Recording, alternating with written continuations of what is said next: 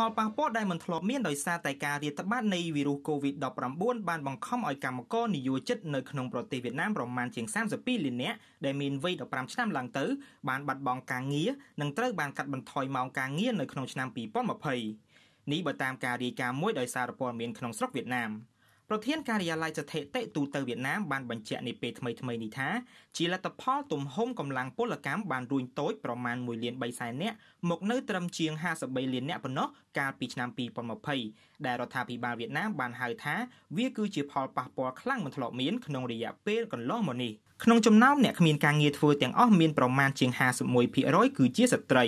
វិស័យសេវាកម្មបានប៉ះពាល់ខ្លាំងជាងគេដោយសារតែវិបត្តិបង្កឡើងដោយ COVID-19 ខណៈដែលមានកម្លាំងពលកម្មជិត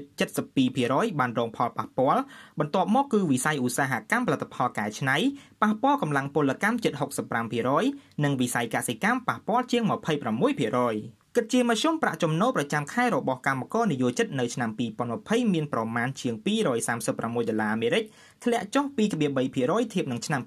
2019 COVID-19 ក៏បានធ្វើឲ្យអាជីវកម្មនៅប្រទេសវៀតណាមប្រមាណជាង100000អាជីវកម្មបានបិទទ្វារនៅឆ្នាំ2020កើនឡើងជិត14%ធៀបនឹងឆ្នាំ2019សេដ្ឋកិច្ចវៀតណាមនៅឆ្នាំ2020ត្រូវបានស្ថាប័នហិរញ្ញវត្ថុអន្តរជាតិនានាអះអាងថានៅតែរក្សាបានកំណើនវិជ្ជមាន ជុំវិញ2.9%ធៀបនឹងឆ្នាំ